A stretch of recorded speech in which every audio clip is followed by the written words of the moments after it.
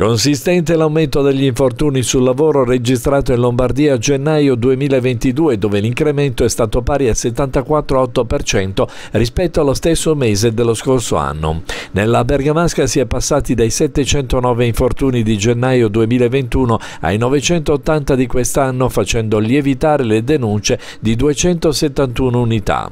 Secondo i rappresentanti della CISL Lombardia, la causa sta nella costante carenza di prevenzione che provoca quotidianamente feriti più o meno gravi insieme a troppe morti bianche. Analizzando i numeri si nota come rispetto a gennaio 2019, in epoca pre-pandemica, l'aumento sia pari a 40% e quanto emerge dalle elaborazioni condotte dal Dipartimento Salute e Sicurezza della CISL Lombardia sulla base degli ultimi dati INAIL. Con la ripresa produttiva e dei servizi gli infortuni sono aumentati anche oltre le possibili stime del tempo di lavoro.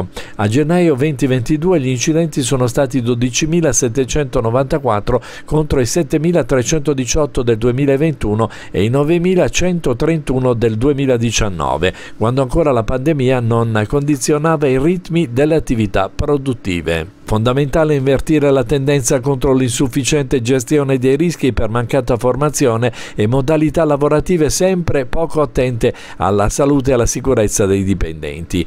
L'incremento registrato a gennaio 2022 rispetto allo stesso periodo dello scorso anno riguarda soprattutto le denunce di infortuni in occasione di lavoro 5.291 in più rispetto a quelle di infortuni in itinere 185 in più.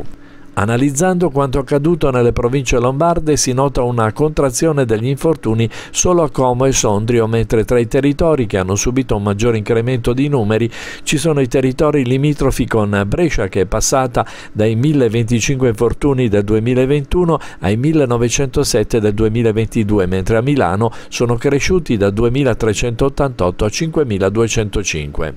Sono inoltre risultate in crescita le denunce di infortunio per le lavoratrici da 3.374 di gennaio 2021 salgono a 6.909 nel 2022. Sette infortuni contro i 5 di gennaio 2021 hanno causato la morte del lavoratore.